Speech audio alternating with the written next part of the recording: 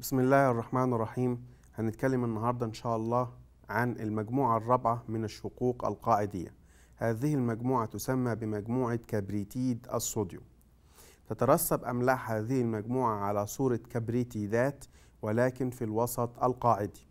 هندرس من أملاح هذه المجموعة أملاح الكوبالت أملاح النيكل أملاح المنجنيز أملاح الخرسين. لو ابتدينا بأول تجربة هناخد أملاح الكوبالت مع كاشف المجموعة هيدروكسيد الأمونيوم في وجود كلوريد أمونيوم في وجود كبريتيد الصوديوم. هناخد جزء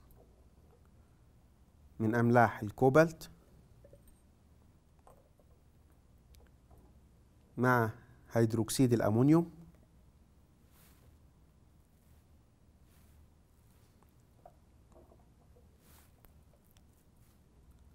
مع كلوريد الأمونيوم في وجود كبريتيد الصوديوم. زي ما إحنا شايفين كده تكون راسب أسود من كبريتيد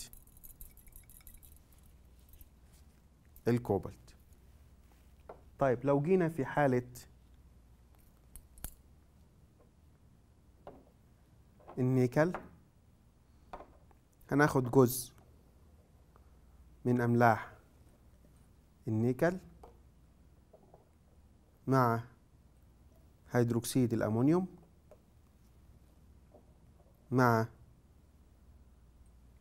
كلوريد الأمونيوم في وجود كبريتيد الصوديوم. زي ما إحنا شايفين أيضا تكون راسب أسود. ده في حالة النيكل. يبقى في حالة الكوبالت وفي حالة النيكل تكون راسب أسود. طيب لو جينا في حالة المنجنيز هناخد جزء من أملاح المنجنيز مع هيدروكسيد الأمونيوم. مع كلوريد الأمونيوم في وجود كبريتيد الصوديوم. زي ما إحنا شايفين كده تكون راسب وردي باهت أو بصلي من كبريتيد المنجنيز. طيب لو جينا في حالة الخرسين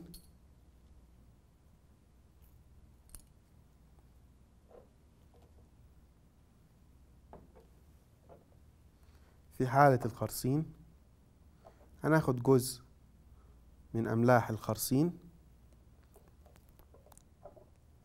محلول هيدروكسيد الأمونيوم. محلول كلوريد الأمونيوم.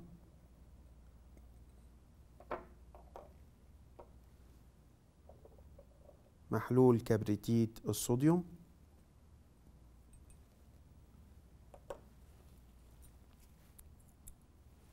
زي ما إحنا شايفين كده تكون راسب أبيض جيلاتيني من كبريتيد الخرسين.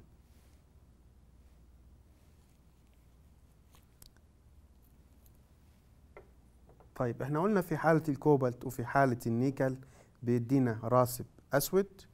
طب نفرق ما بينهم إزاي؟ في بعض التجارب التأكيدية اللي بتفرق لنا ما بين الاتنين.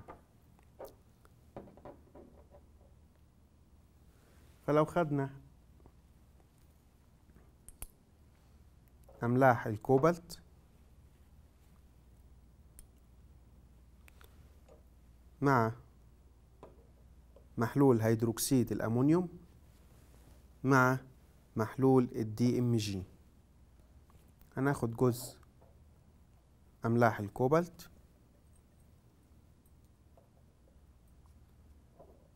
هيدروكسيد الأمونيوم. ال DMG زي ما إحنا شايفين كده.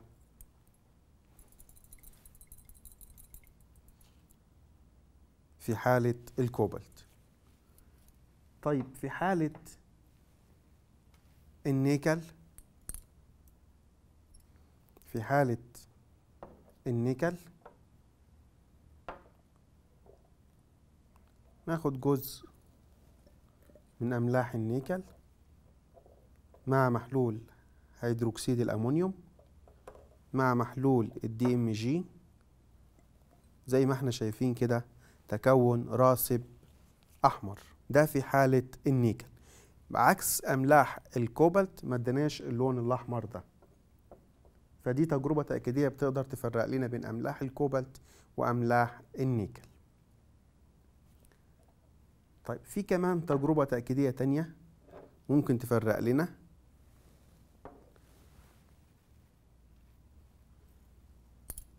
لو خدنا جزء من أملاح الكوبالت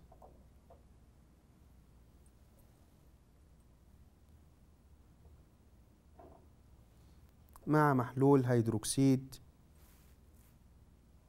الأمونيوم فبيدينا راسب أخضر. طيب لو خدنا جزء من أملاح النيكل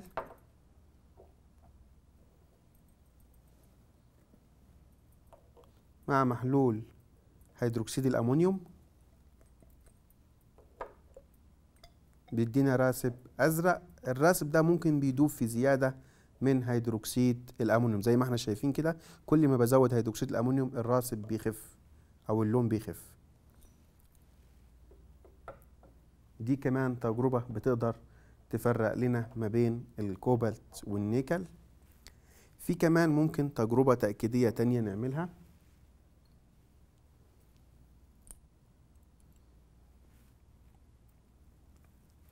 ودي بتبقى خاصة بالخرسين. فلو خدنا جزء من أملاح الخرسين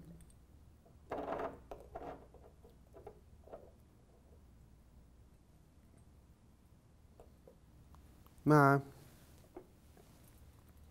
محلول حديدو سيانيد البوتاسيوم.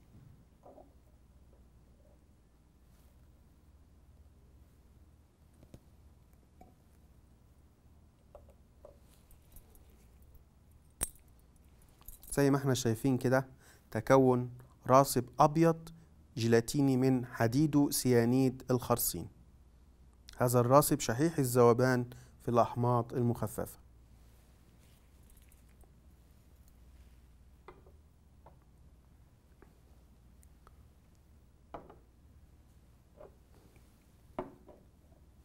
طيب برضو في تجربة ممكن نعملها تاني.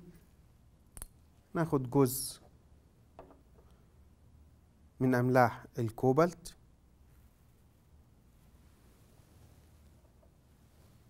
مع محلول هيدروكسيد الصوديوم.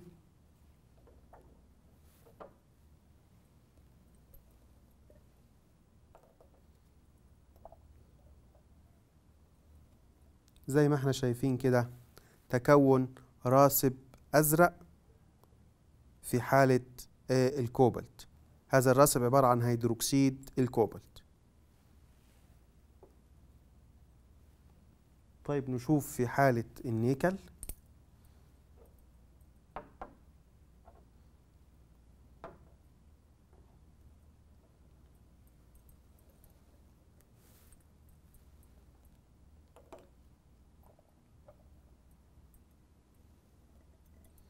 زي ما إحنا شايفين كده في حالة النيكل تكون راسب أخضر باهت من هيدروكسيد النيكل.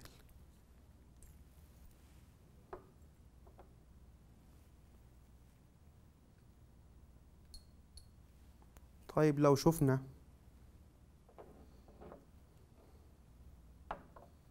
في حالة الخرسين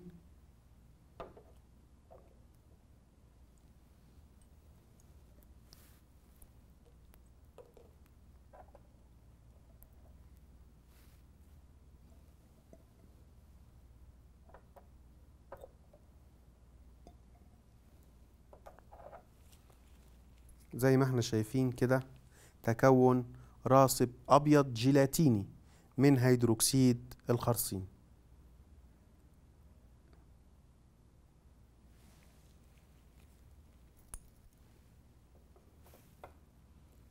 وبكده نكون انتهينا من دراسة المجموعة الرابعة من الشقوق القاعدية.